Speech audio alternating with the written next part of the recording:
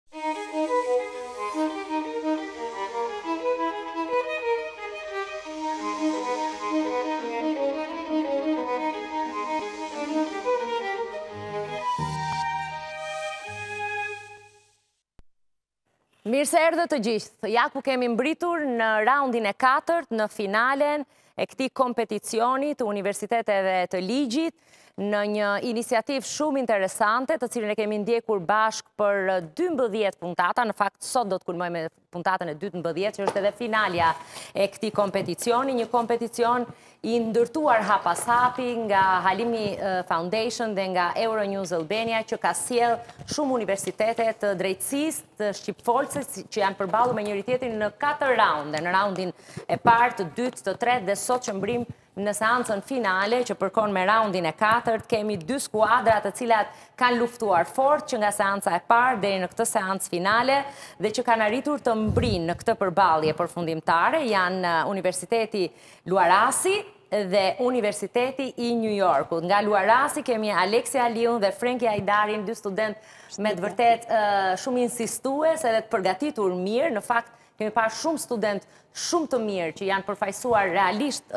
denjësisht vetë edhe universitetet nga të cilat vijnë, po le të themi që sot në finale kemi studentë më të mirët, ata që ia kanë dalë edhe për shkak të rrethanave, mënyrën se si janë impostuar, mënyrën se si janë përgjigjur pyetjeve e të tjera. Dhe nga ana tjetër kemi New Yorkun me Stella Hoxhën dhe Klea Beqen, edhe këto dy vajza shumë të forta që kanë luftuar që nga fillimi i këtij konkursi dhe deri sot.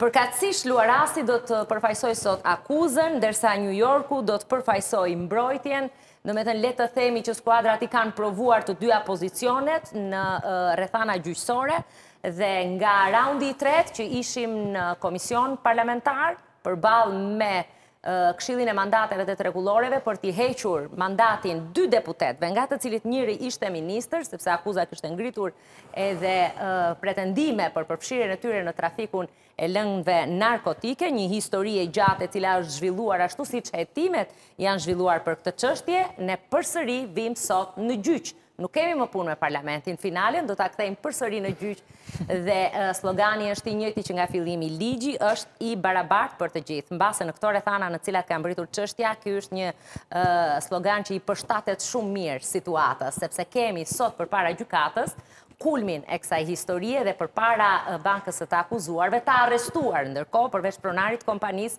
kemi edhe dy funksionarë nga më të lartët në hierarkinë e shtetit shqiptar, dy deputetë, përkatësisht njëri prej tyre është ministër. Trupa gjykuese kthehet nga pozita e Këshillit të Mandateve dhe të Rregullores, sot përsëri me togat e zeza të gjyqtarëve. Aulona Bodo, kryesuese e trupës gjykuese, shumë faleminderit që keni qenë me ne në të gjitha këto seanca të vështira dhe shumë interesante dhe po kështu një falënderim special për të dy gjyqtarët që e kanë mbajtur shumë fort forcën e argumentit Dhe mbi të gjitha pyetjet kanë qenë shumë insistuese për të kuptuar dhe për të krijuar një bindje më të qartë për gjykatën për të gjitha seancat ku janë përballur trupat dhe nga ana tjetër edhe universitetet.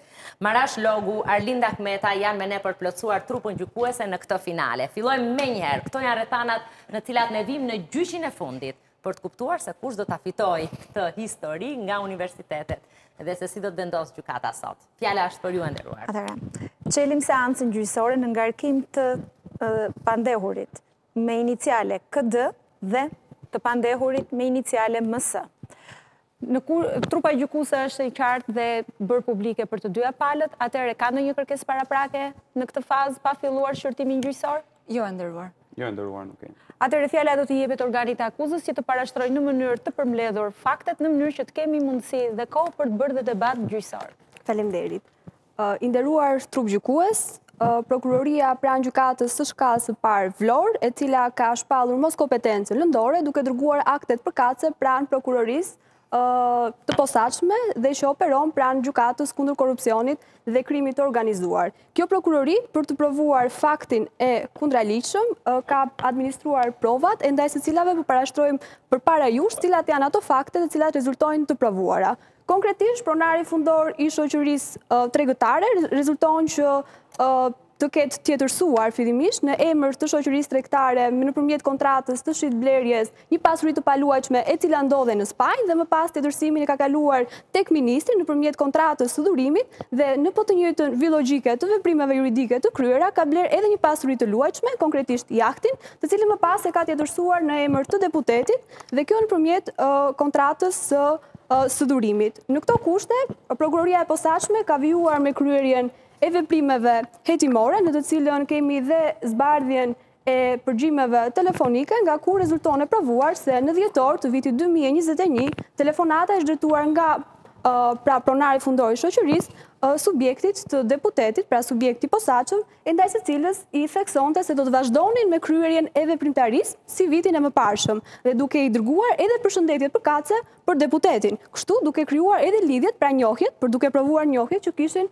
kundrejt njëri-tjetrit. Kjo telefonatë është pasuar nga një telefonatë tjetër dhe konkretisht më datë gjashtëmbëdhjetë i dyti dy mijë e njëzet e dy, në të cilën po kështu pronari fundor i shoqërisë tregtare i drejtohet në këtë rast përsëri deputetit, duke i theksuar se kjo veprimtari, që në fakt rezulton e kundraligjshme, nuk mund të vazhdohej më në vitin pasardhës për shkak të problemeve duke justifikuar me karakterin financiar të tyre. Dhe po ashtu kemi dhe një diskutim për një tjetër pasuri të paluajtshme, e cila me vendodhje në Monako për të thënë se nuk ishte tjetërsuar ashtu siç ishin dakordsuar në fillim në sipërfaqet e përcaktuara.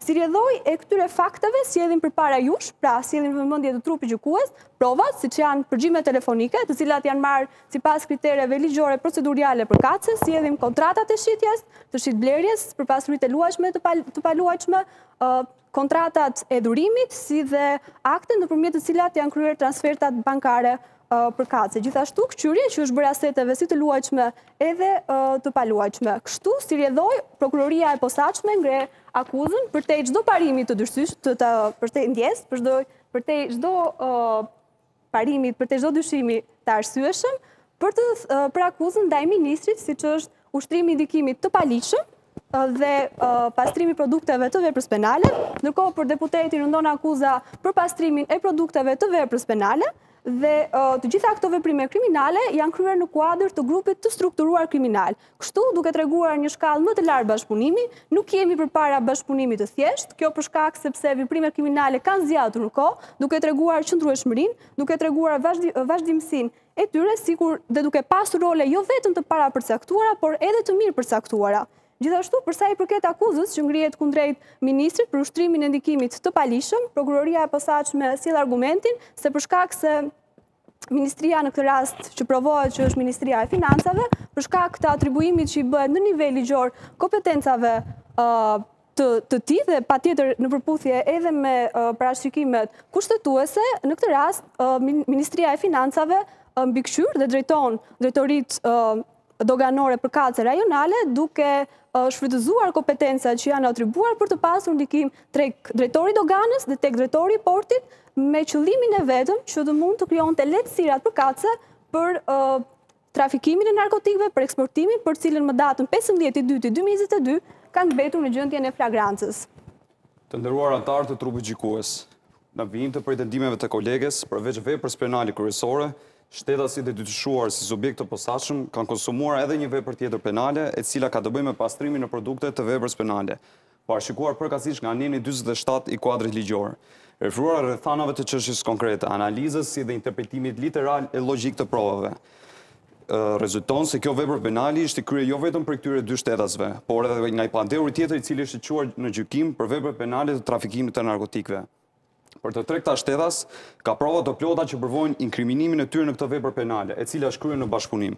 Nga përmbajtja e materialeve përgjuese, të cilat po ashtu lidhen me prova të tjera, si kontrata, provat materiale, dokumentet dhe gjurmët bankare, provohet katërcipërisht fakti i derivimit të pasurive apo produkteve të paligjshme, që burojnë nga vepra penale e trafikimit të narkotikëve, referuar analizës së katër elementëve ligjorë për secilën figurë krimi, provoi se në rastin konkret, ato ishin prezente në mënyrë kumulative. Për sa i përket anës objektive, veprat penale ishin konsumuar me veprime aktive, shoqërisht të rrezikshme e për pasojë të dënueshme nga legjislacioni penal. Konkretisht, rezultonte e provuar se, sipas pikës tre të nenit njëzet e shtatë të kuadrit ligjor të referuar për këtë gjykim, janë fituar, pronësitë me disa asete të cilat diheshin plotësisht nga subjektet kriminale, qysh në çastin e marrjes në dorëzim të tyre, që këto pasuri janë produkt i veprave penale apo i veprimtarive kriminale. Për sa i përket anës subjektive, rezultonte forma e dashjes direkte si formë fajësie dhe gjithashtu së fundmi subjektet gëzonin një moshën për përgjegjësi penale dhe gjithashtu dhe se ndaj tyre nuk ekzistonte asnjë shkak padënueshmërie. Ne si organ hetimor pretendojmë se vepra penale është kryer në bashkëpunim jo të thjeshtë, në të cilën subjektet e tjera të marrë në procedim qëndrojnë së bashku në grup të strukturuar kriminal dhe pretendimet tona bazohen në faktet dhe në provat e cituara më sipër, si dhe në qëndrimin apo praktikën e mbajtur nga ana juaj në çështje të tillë. I nderuar trup gjykues, në përfundim, në lidhje me llojin dhe masën e dënimit, duke marrë parasysh kërkesat ligjore të nenit 47 të Kodit Penal, i kërkojmë kësaj të nderuar gjykatë, deklarimin fajtor të të pandehurit në detyrën e ministrit, me veprën penale të ushtrimit të ndikimit të paligjshëm, me dy vite burgim. Deklarimin fajtor po të këtij të pandehuri, për veprën penale të pastrimit të produkteve të veprës penale, me dhjetë vite burgim, aplikimin e bashkimit të dënimeve po të këtij të pandehuri me dhjetë vite burgim dhe së fundmi deklarimin fajtor të të pandehurit për pastrimin e produkteve të veprës penale me tetë vite burgim. Gjithashtu, vuajtja e dënimit duhet të nisë nga data e arrestimit. Ju faleminderit. Dakord. Atëherë fjala i kalon mbrojtjes. Ju faleminderit. Ta nisim nga akuza për grupin e strukturuar kriminal. Grupi i strukturuar kriminal përbën pjesë të formave të veçanta të bashkëpunimit dhe karakterizohet nga pjesëmarrja e tre apo më shumë personave dhe ka një shkallë të veçantë organizimi dhe strukturimi, siç tha edhe prokuroria.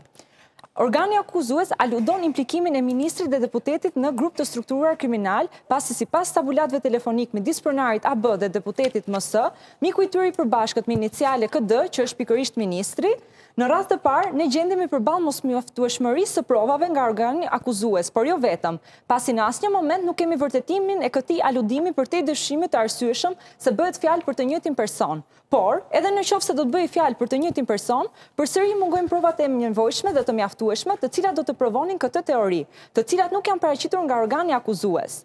Për më tepër, mes tyre nuk ekziston vullneti për një bashkëpunim të veçantë, element kryesor ky i cili mund të implikonte ministrin dhe deputetin në këtë vepër penale për të cilën akuzon prokuroria. AB-ja dhe KD-ja, së bashku me deputetin, kanë një marrëdhënie miqësore në vite si rezultat i të jetuarit jashtë shtetit dhe për më tepër në asnjë moment nuk ka sinjalizim për pastrim të produkteve nga agjencitë e huaja ligjzbatuese siç është mekanizmi i pastrimit të parave. Nga ana objektive, krimi parashikon krijimin, organizimin, drejtimin e organizatave kriminale, pjesëmarrjen në të, si dhe armatosjen me lëndë shpërthyese etj. Me pjesëmarrje kuptohet shfaqja e vullnetit të lirë të personit për të qenë pjesëtar në këtë organizatë kriminale. Mund të vihet re qartazi se ana objektive nuk ekziston, pasi nuk ka prova që do ta vërtetonin këtë pjesëmarrje të aluduar nga organi akuzues. Rrjedhimisht dhe ana subjektive nuk mund të ekzistojë, pasi vetë pjesëmarrja në një organizatë kriminale apo grup të strukturuar kriminal nënkupton elementin e dijenisë nga subjekti, i cili në këtë rast nuk mund të provohet, pasi nuk arrin të vërtetohet për shkak të mungesës së vetë këtij fakti, por edhe nga mosekzistenca e provave që do ta vërtetonin këtë element. Organi i akuzës gjithashtu ka përmendur një akuzë tjetër për të dy subjektet, e cila lidhet me pastrimin e produkteve që vijnë nga veprat penale.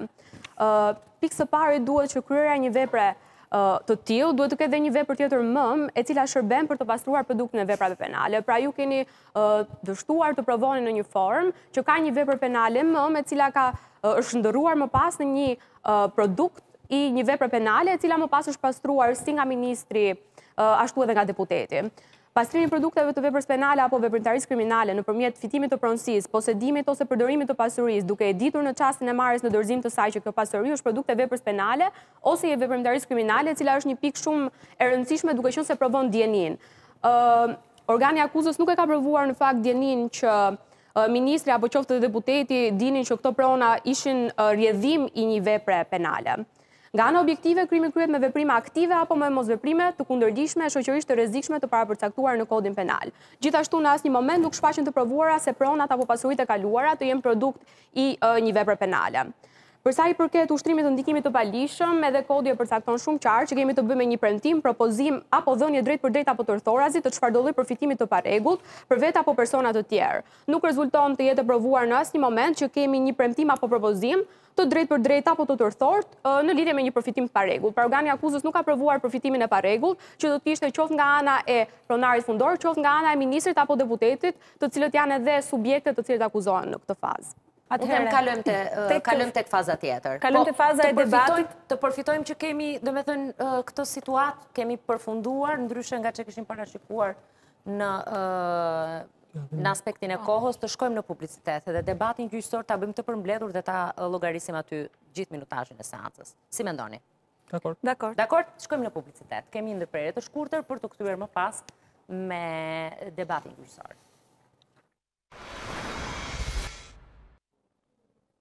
Jemi gati për të vazhduar më tej dhe për ta përmbyllur këtë finale, këtë raund të katërt të përballjes së skuadrave në University Law Competition.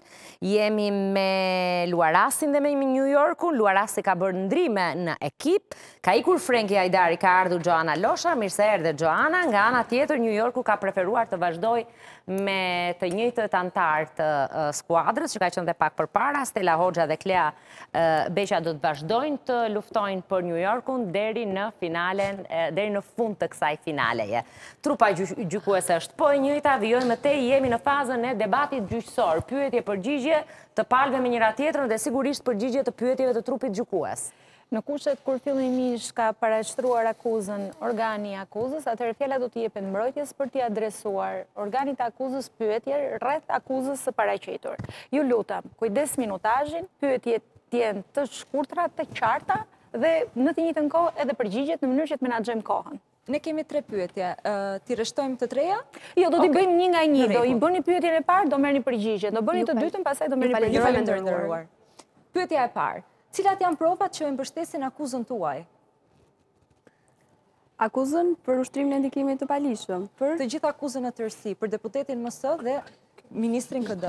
Zonja avokate, kjo është një pyetje shumë e gjerë. Ju lutem a mund të bëni një pyetje më konkrete ose më koncize, sepse kjo është një pyetje që pala prokuroria mund të rrijë 2 orë këtu pastaj duke folur, më kupton? Ku e keni provuar përfitimin e paligjshëm dhe të parregullt në rastin e akuzës për ushtrimin e ndikimit të paligjshëm ndaj personave që ushtrojnë funksione publike? Në fakt, provimi vjen si rrjedhojë e provave materiale, kjo referuar tjetërsimit të pasurive të aseteve si të luajshme dhe të paluajshme, të cilat figurojnë që janë tjetërsuar nëpërmjet kontratës së dhurimit si tek të si tek jahti për sa i përket deputetit, ashtu dhe sa i përket pasurisë së paluajshme tek tek ministri. Patjetër që kjo vjen si rrjedhojë e gjithë arsyetimit që ne kemi parashtruar përpara trupit gjykues. Lidhur me akuzën për pastrimin e veprave e produkteve që vijnë nga vepra penale, kush është vepra penale mëmë që ka krijuar produktet penale për të cilat aludoni se janë pastruar nga ministri apo deputeti? Prokuroria e posaçme në të cilën që në çastet e para të saj, si edhe të akteve që ndodhen në fashikujt përkatës të hetimit, ka kërkuar veçimin e çështjes dhe patjetër që kemi dhe subjekte për të cilat konkretisht edhe trupa gjykuese kishte vendosur trafikimin e narkotikëve, kjo për shkak të eksportimi që është kërkuar të bëhet për lëndë narkotike më datë 15 i dyti 2022. Patjetër që është një vepër... Trafiku i narkotikëve është vepra penale mëmë. A ka një lidhje konkrete mes veprës penale të trafikimit të narkotikëve dhe blerjes së apartamentit në Marbeja, apo jahtit Igëll, apo apartamentit në Monaco? Lidhja e vetme qëndron sepse... Lidhja e vetme qëndron për shkak sepse kryeshin si rrjedhojë e veprimtarisë të shoqërisë tregtare, e cila siç duket tashmë e kishte bërë zakon që të kalonte eksportimin e lëndëve narkotike dhe për të fshehur si rrjedhojë përfitimet e tyre, i kalonte, bënte tjetërsimet përkatëse në emër të ministrit në këtë rast, siç rezulton e provuar, edhe të deputetit, duke mbajtur kështu edhe karakterin që ka kjo vepër penale derivative pra pastrimi i produkteve të veprës penale në lidhje me trafikimin e narkotikëve. Por a mjafton vetëm një provë? Tre pyetje thatë, zonja avokate. Është e njëjta pyetje. Jo, besoj që s'do të krijojë edhe barazi, po themi. Faleminderit të nderuar. Zonja kryetare? Po, meqenëse anëtari e mori drejtimin e seancës, atër... Jo, thjesht që të ruajmë një lloj balance në një skuadrë. Dakord, atëherë unë do t'ju jap edhe një minutë kohë, që të përfundoni pyetjen përfundimtare për sa i përket organit të akuzës. A mjafton vetëm një provë e vetme për të inkriminuar dikë? Apo kjo bie ndesh me ligjin e shtetit shqiptar? Nuk e di sa jeni ju në njohje të praktikës gjyqësore, megjithatë praktika gjyqësore ruan edhe karakterin për të cilën qoftë edhe indicie të shumta, për të cilat janë të sakta, të rëndësishme, të ndërlidhura me njëra-tjetrën mund të çojnë në provimin e fajësisë. Megjithatë po ju sjell edhe një herë në rikujtesë që nuk kemi të bëjmë me një provë të vetme, kemi të bëjmë me disa prova, qoftë direkte apo indirekte për të mos rënë më tej në përsëritje. Dakord. Atëherë organi Organi i akuzës ka, po, pyetje për mbrojtjen? Organi i akuzës ka një pyetje për sa i përket palës mbrojtëse, sepse në asnjë moment nuk u shpjegua se cila është arsyeja e vetme dhe patjetër brenda shkakut ligjor për të cilën është kryer tjetërsimi i aseteve të luajtshme apo të paluajtshme në emër të ministrit apo të deputetit. Tjetërsimi në emër të ministrit apo të deputetit në të dyja rastet siç e kemi paraqitur dhe provat bashkëngjitur me aktin e mbrojtjes, rezulton që të jenë kaluar nëpërmjet një kontrate shitblerje, një kontratë normale e cila shërben për kalimin e titullit të pronësisë nga një palë tek pala tjetër. Pra marrëdhënia le të themi përveçse miqësore prej vitesh që ato kishin lidhet edhe në një marrëdhënie kontraktuale për shitjen apo blerjen e sendeve që ju përmendët pak më parë, e cila përcaktohet qartë edhe tek të gjithë rrethanat e faktit. Asnjë ligj i Republikës së Shqipërisë nuk e ndalon njohjen apo shoqërinë me dikë apo kontratat e shitblerjes, qofshin ata edhe persona të inkriminuar.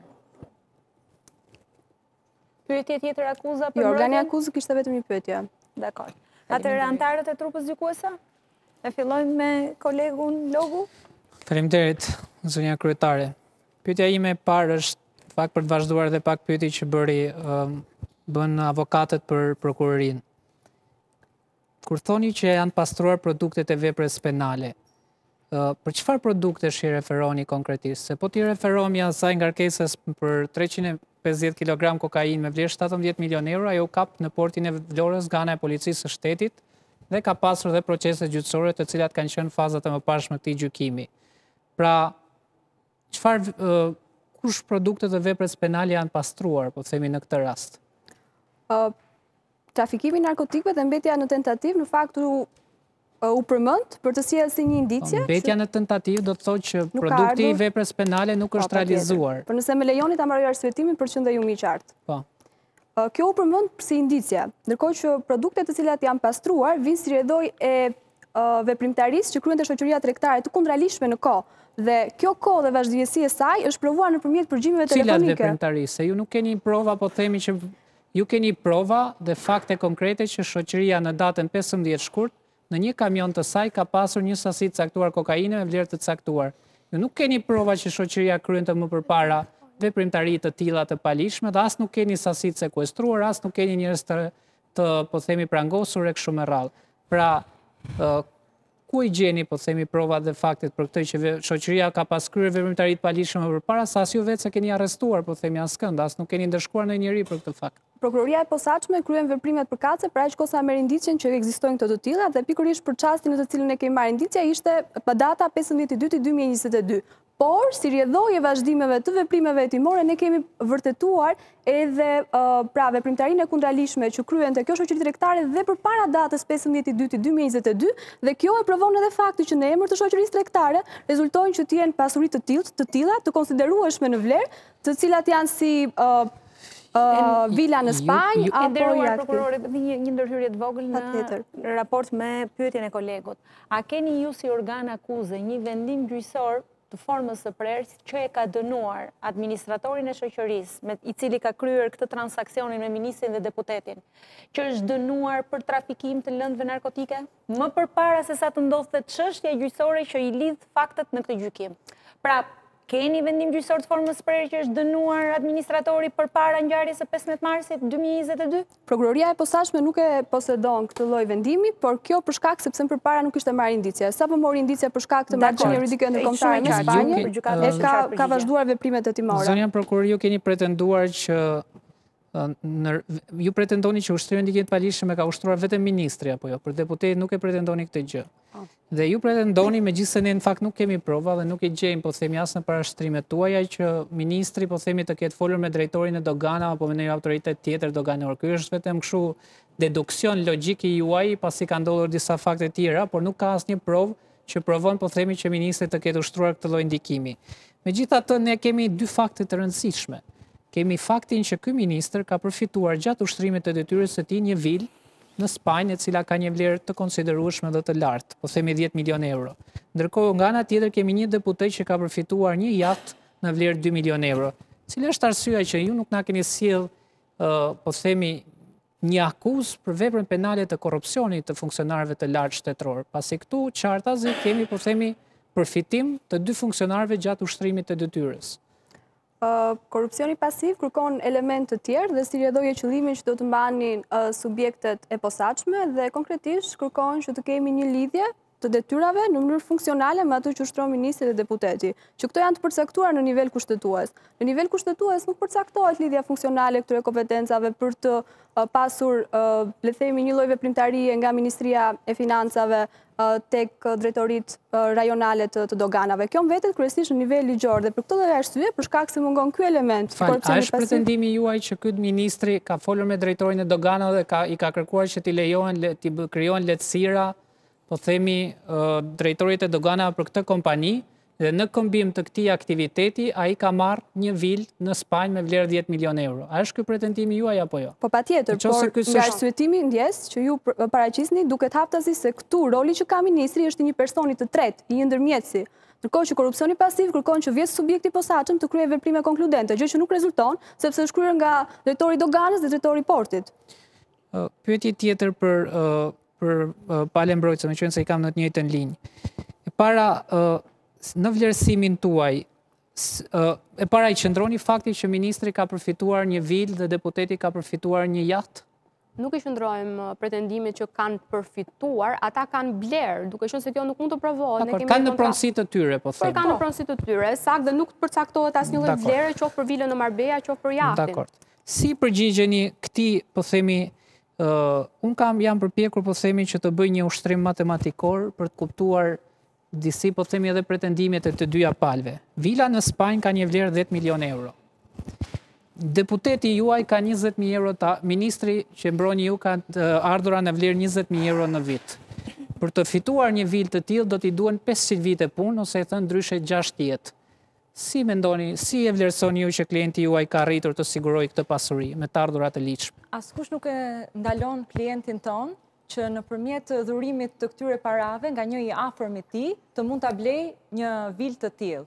Keni ju fakte dhe prova që këtij deputeti i është i është dhuruar një vlerë dhjetë milionë euro? Megjithatë vlen për t'u përmendur që vlera prej dhjetë milionë eurosh nuk rezulton të jetë në asnjë nga provat apo faktet. Gjithashtu një vilë në Marbella nuk kushton Atëherë është mirë të thërrasim dhe një ekspert për të vërtetuar se sa mund të kushtojë një vilë në Marbella. Qartë. Ecim në një pyetje tjetër. Për ministrin e kuptuam. E njëjta gjë vlen edhe për deputetin. Vlera e jahtit e thashë më përpara është rreth 2 milionë euro dhe ai ka 15000 euro të ardhura në vit. Do t'i duheshin rreth 133 vite për ta blerë këtë lloj pasurie. Të paktën kështu do t'i duheshin çdo zyrtari në qoftë se jetonte me të ardhurat e tij të ligjshme. Si mendoni ju, si e justifikoni, po themi këtë, krijimin e kësaj lloj pasurie me të ardhura të ligjshme? Në dijeninë tonë përmes kontratës së shitblerjes rezulton që jahti Eagle ka një vlerë prej pesëmbëdhjetë mijë euro, e cila është brenda buxhetit që deputeti mund të ketë, përtej çmimeve referencë të cilave ju i nderuar bazoheni. Në qoftë se ju pretendoni që jahti dhe vila janë blerë me të ardhura të ligjshme, Cila ishte nevoja që fillimisht këto para t'i paguante një shoqëri e regjistruar në një parajsë fiskale dhe më pas t'i transferonte te klientët tuaj? Klientët tuaj mund të shkojnë në mënyrë të drejtpërdrejtë dhe t'i blinin këto pasuri pranë po themi pronarëve të tyre të ligjshëm. Cila është arsyeja që është bërë ky transaksion i komplikuar duke shkuar fillimisht te një kompani në New Jersey dhe më pas duke e transferuar pronësinë tek klientët tuaj. Ndërkohë që rezulton që pronari, po themi, i kësaj kompanisë në New Jersey është dhe një mik i njohur jashtë shtetit, siç e thatë ju, po themi me klientët që ju përfaqësoni. I nderuar, për sa i përket transaksioneve, nuk kemi një transaksion të shumave të parave, por kemi thjesht një transaksion nëpërmjet një kontrate shitblerjeje të titullit të pronësisë. Këto sende për cilat po flasim, apo objekte, siç është jahti apo vila në Marbeja, kanë qenë në pronësinë e shoqërisë dhe patjetër dhe pronarit fundor AB, të cilat më pas nëpërmjet një kontrate kanë kaluar nga shoqëria kundrejt ministrit apo deputetit. Zonja avokate, pyetja e fundit. E para, klienti juaj vazhdon të jetë akoma ministër, apo në momentin që u arrestua e kanë shkarkuar nga detyra ministrin, mban vetëm postin e deputetit? Aktualisht ajo është zhveshur nga imuniteti i tij. Por vazhdon të mbajë detyrën, është akoma ministër finance. Nuk e ka më të njëtën Prestigj. Kam një pyetje, ndoshta domethënë, kjo do kërkonte, kërkoj edhe vlerësimin tuaj, se sigurisht ju jeni avokate, po jeni qytetarë të këtij vendi, besoj qytetarë të përgjegjshëm dhe ndërgjegjshëm. Çfarë mendoni ju se do mendonin qindra, disa qindra mijëra qytetarë që janë arrestuar në vitin 2014, për çështjen e mos mund spasjes mundësi të pagesës së faturave të energjisë elektrike në qoftë se ne sot do vendosnim pafajësinë për dy funksionarë të lartë të shtetit shqiptar që rezultojnë të lidhur me një kompani që transporton rreth 350 kg kokainë me vlerë 17 milionë euro dhe kanë pasuri me vlerë 12 milionë euro përkatësisht çmimi i vilës dhe çmimi i jahtit.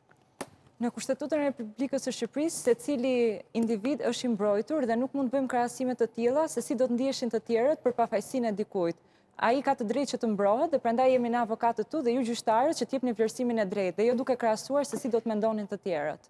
Gjithashtu vlen për t'u përmendur që përgjegjësia penale është krejtësisht individuale, ndaj dhe vendimi për fajësinë apo pafajësinë do të ishte ndikues vetëm për subjektet në fjalë dhe jo për individët e tjerë.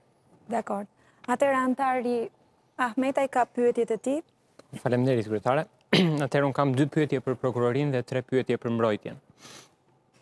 Ë për prokurorinë e para është ju ndalët në fakt duke marrë shkas edhe nga pyetja e kolegut tim që pse nuk i jeni adresuar kësaj gjykate me me akuzë për për korrupsion, por jeni jam pak kurioz për këtë zgjedhjen e kategorizimin e veprës që ju keni bërë. Dhe kam një pyetje në fakt pak teorike, në qoftë se do ma lejoni përgjigjen. Pyetja është, nëse nëse këta po prezumoj për një moment, pa paragjykuar çështjen që e kanë kryer veprën të pastrimit të produkteve. Ë i bie që ata kanë pastruar produktet e krimit të dikujt apo jo? Që pretendimi juaj është i që kanë pastruar produktet e krimit të pronarit fundor në shkëmbim të pasurive që kanë marrë. A nuk është kjo në vetvete korrupsion? Po, për ta risjellë edhe njëherë në kujtesën tuaj, faleminderit për pyetjen i nderuar, Ministria e Financave në këtë rast, sepse ushtrimi i ndikimit të paligjshëm e qartësojmë është vetëm për subjektin e posaçëm të Ministrin e Financave, i cili në nivel ligjor kontrollon drejtoritë rajonale doganore. Në këtë rast, Ministri nuk rezulton të ketë kryer në mënyrë të posaçme dhe personalisht veprimin e kundraligjshëm. Të nuk kanë, duhet m'i përgjigjesh pyetjes time. por ka qenë nëpërmjet ndikimit të tij, për shkak të kompetencave në nivel ligjor, për të ndikuar tek persona të tretë. Nuk është ajo pyetje që unë bëra. Thashë, në qoftë se vetë ju, se ju e pretendoni akuzën që personi që ju akuzoni ka kryer pastrim të produkteve ë, penale, apo jo? Po. Për pastrim të produkteve kriminale. Tani vetë pastrimi, në qoftë se këtë pastrim e ka bërë për një subjekt tjetër, në këmbim të një të mire materiale siç është vila apo jahti, a nuk është ky korrupsion? Apo ju s'e kategorizoni këtë, këtë si korrupsion? Nuk bëjmë këtë kategorizim për sa i përket uh, veprës penale dhe ngremë pastrim produktesh të veprës penale për trafikim, si rrjedhojë se është një vepër penale që kërkon uh, të mbështetet diku për të provuar kundërligjshmërinë e atyre produkteve ndjes që kërkohen uh, të, të pastrohen në këtë rast. Okay. Kam edhe një pyetje në fakt dhe tek pyetjet e fundit duhet ndalem pak te datat, sepse datat nuk gënjejnë. Uh, Pyetja është, nuk më përkon një datë në fakt, në datën 15 shkurt 2022 është bllokuar sasia e kokainës. Po, pranë portit të Ndërkohë në datën një ditë më mbrapa, në datën 16 shkurt 2022 thoni ju për shkak të bllokimit të kokainës është paguar kësti për jahtin Eagle. A nuk, më, nuk po më përkojnë në rrjedhë logjike këto dy data, pra në qoftë se, patjetër, në qoftë se kokaina do të ishte transportuar dhe suksesshëm në destinacion, mund të krijohesh një aludim që një ditë më mbrapa është paguar kësti për jahtin. Por në kushtet kur kokaina ishte pezulluar, pse duhet paguhesh ky personi pra ky ministri? Nëse nuk më po më përkojnë, nuk po më përkojnë këto dy data. Po në fakt, pyetja juaj vjen si rrjedhojë e faktit që veprimtaria kriminale e shoqërisë tregtare nuk ndalet vetëm në gjendjen e flagrancës, por ka vijuar si më përpara duke përfituar pasuri në sasi të konsiderueshme për të bërë edhe blerje të tilla që realisht janë vlera të konsiderueshme dhe për të cilat edhe akt ekspertimi patjetër që i vlen procesit gjyqësor, por nuk është kaq determinant të gjithë e dimë se sa mund të kushtojë një pasuri e paluajtshme në një territor tjetër jashtë Republikës së Shqipërisë. Kam tre pyetje për ju shkurt. Pyetja e parë është, ju thatë që këto janë thjesht transaksione civile. Si mendoni ju, sepse ka një bisedë këtu, midis pronarit A.B. dhe deputetit M.S., ku ky i fundit i ankohet, se vila e tij duhet të ishte, se shpia apartamentit Në Monako duhet të ishte dyqind metra dhe jo tetëdhjetë e pesë metra. A ju ka ndodhur ndonjëherë ju në një marrëdhënie civile se jeni avokat, që të ketë një marzh gati njëqind e pesëmbëdhjetë metra kur marrëdhënia civile apartamenti dihet dhe hapësira dihet dhe çmimi dihet. Pra ç'ne gjithë ky diskrepancë, do të thotë gjithë ky luhatje midis Apo ai mendonte se do blente dyqind metra bleu tetëdhjetë, cila është arsyeja? Ju falenderoj i nderuar, siç e thatë dhe ju, ka një marrëdhënie civile që kemi përmendur dhe më parë nëpërmjet një kontrate shitblerje, ku pala shitëse do të ishte shoqëria dhe pala blerëse do të ishte pikërisht deputeti M.S. Megjithatë, kemi përmendur që ato kanë dhe një marrëdhënie shoqërore për tashmë vitesh, ku miku i tij i ka premtuar një apartament i cilin do t'ia shiste, dhe do të kishte një sipërfaqe, le të themi prej 200 metrash katrorë, dhe në momentin që deputeti ka mësuar se ka të bëjë me një po apartament prej 85 metra. Po ky para se ta blinte, e pa këtë apartamentin në Monaco, apo e bleu online? Si mendoni ju? Ai ishte në kërkim të një apartamenti në Monaco, miku i tij kishte një apartament të tij në Monaco në pronësi, të cilin i ka thënë që kam një apartament prej 200 metrash katrorë, dhe duke qenë se deputeti ishte në një kërkim të një apartamenti prej 200 metrash katrorë në Monaco, Patjetër që u zhgënjye në momentin që shkoi në Monako dhe pa që efektivisht nuk është dyqind metra, dhe pasi pa dhe dokumentacionin, patjetër. Kam dhe një pyetje të fundit, kthehem prapë te datat, se janë të rëndësishme. Ka tre data, dy data më saktë që më peshojnë pak në logjikën time. Data e parë është 26 dhjetor 2021, ku pronari AB, pra rreth dy muaj përpara se të ndodhte veprimi, e merr në telefon dhe i thotë çdo gjë do vazhdojë sipas programit dy muaj të ardhshëm. Dakord? Pra kjo është data e parë që flet për dy muaj të ardhshëm dhe data e data e dytë është data 20 shkurt 2022, ku 5 ditë mbasi është sekuestruar kokaina, ai e merr në telefon dhe thotë që programi nuk do vazhdojë siç do vazhdonte. Pra është kjo rastësi që Bëhet një telefonatë përpara se të dërgohet kokaina dhe thotë çdo gjë do shkojë sipas programit dhe pastaj 5 ditë më mbrapa thuhet që gjërat nuk na shkuan ashtu siç duhet? Patjetër që është një rastësi, kemi të bëjmë përballë një dyshimi, por jo një dyshimi të arsyeshëm dhe duke aplikuar parimin in dubio pro reo, pra çdo dyshim është në favor të të pandehurit. Në rastin konkret, Komunikimi mes tyre është tërësisht miqësor, ku një mik i tregon një miku tjetër lidhur me punën që po vijon, ka patur probleme me pozicionin e tij të punës e të tjerë. Por në qoftë se do të kishte një lidhje konkrete me veprat penale, nuk do të kërkonte deputeti një apartament në qoftë se lehtësimi i kamionit do të ishte sekuestruar së bashku me drogën. Atëherë, unë kam, kam një pyetje të fundit, të cilën do ta adresoj për të dyja palët, edhe për organin e akuzës, po edhe mbrojtja të mbajë qëndrimin e saj. Ju akuzoni deputetin dhe ministrin për pastrim të produktit të veprës penale. Ju si organ akuze, keni hetuar nëse një zyrtar me të ardhura, cilat janë të ardhurat e këtij zyrtari? Dhe nëse mundet që një zyrtar i lartë i shtetit si ky që jemi ne të jetë pikërisht targeti për të bërë pastrim të produktit të veprës penale për një aktivitet prej 17 milion eurosh? Organi i akuzës? Po, patjetër të nderuar. Sigurisht që kemi hetuar, hetimet tona janë Pra të ardhurat e deputetit janë shumë më të mëdhaja se sa që kanë mundësi që të bëjmë pastrimin e 17 milion eurove? Në retrospektiv të të gjithë fakteve të të fakteve të ngjarjes penale, kemi parasysh që... E mora përgjigjen se është për efekt kohe, ju keni hetuar dhe e keni. Po. Mbrojtja?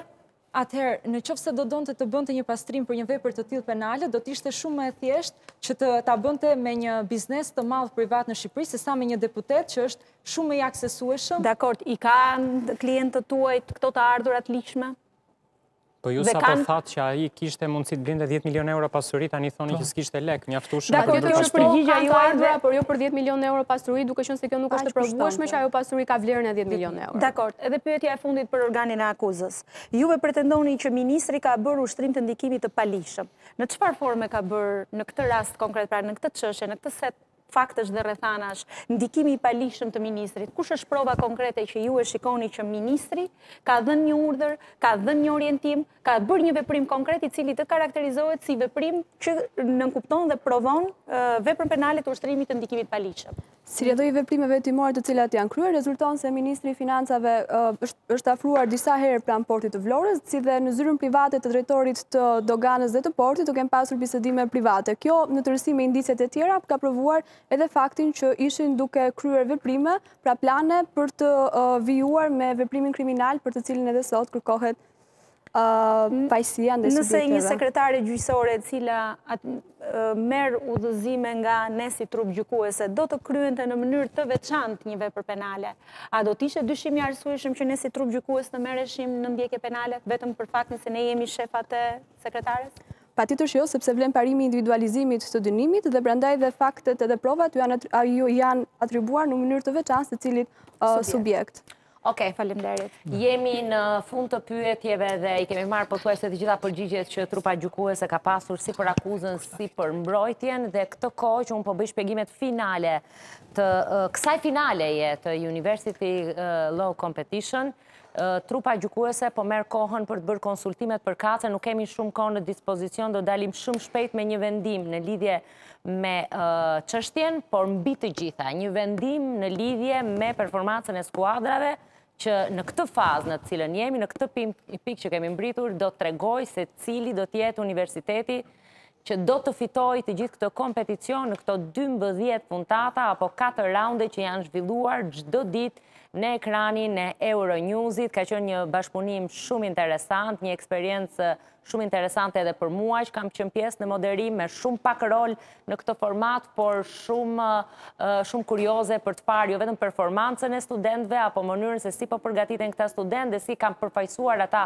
universitetet e tyre, po edhe për të krijuar një perceptim çfarë ndodh realisht në mënyrë solemne një në një sallë gjyqi dhe si duhet mbrohen argumentat si nga akuza ashtu edhe nga mbrojtja për të bindur gjykatën që të marri një vendim në favor të tyre. Në qoftë se jemi gati, unë fjalën do t'ja jap së fundit trupit gjykues, duke i falenderuar që kanë qenë me ne dhe që kanë dëgjuar me vëmendje studentët që kanë qenë në rolet e palëve të akuzës dhe të mbrojtjes për të përcaktuar sot Kush e fiton këtë kompeticion, përveçse kush e fiton këtë çështje në seancën e fundit gjyqësore në ekranin e Euronews?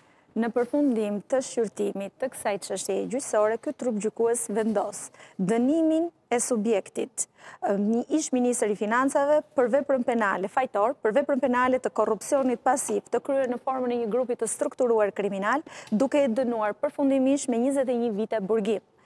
Së dyti, deklarimin fajtor të subjektit ish-deputet i Kuvendit të Shqipërisë për veprën penale të korrupsionit pasiv kryer në formën e grupit të strukturuar kriminal dhe dënimin e tij përfundimisht me tetëmbëdhjetë vite burgim.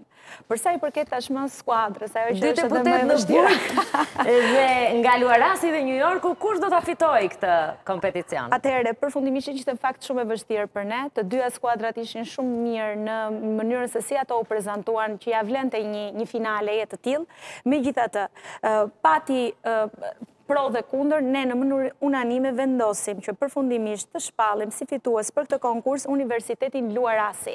Bravo! Por, e ka fituar Luarasi, e ka fituar Luarasi. Universiteti Luarasi e fitoi këtë lloj debati, vetëm sepse nga presioni i madh, jo se akuza ishte ngritur në mënyrë të duhur, dhe kjo duket nga vetë vendimi i marrë, Por ama mbajti presionin e të gjithë debatit. Pra të gjithë presionin që ne i bëmë si trupë gjykuese për t'i bërë pyetje, ata e mbajtën mirë, u munduan t'i qëndronin argumentave të tyre, ndërsa mbrojtja, mbrojtja duhet të jetë koherente, mbrojtja duhet të jetë e kujdesshme. Nga një anë duhet që të jetë shumë e kujdesshme në mënyrë që t'i krijojë bindjen gjykatës, që nuk e fiton çështjen thjesht vetëm për një gabim të vogël që mund të bëjë pala tjetër. Megjithatë, në kaq shumë sfida sa kemi kaluar deri tani mund të themi që edhe Luarasi që e ka fituar zyrtarisht, edhe New Yorku që ishte në finale, janë fitues, përveç se janë dy skuadra shumë dinjitoze, studentë që premtojnë shumë dhe që do të jenë nesër ata që do të bëjnë drejtësi. Unë ju falenderoj të gjithëve që jeni bërë pjesë e këtij projekti. Ka qenë një eksperiencë shumë fantastike, shpresoj ta keni shijuar dhe të keni mësuar.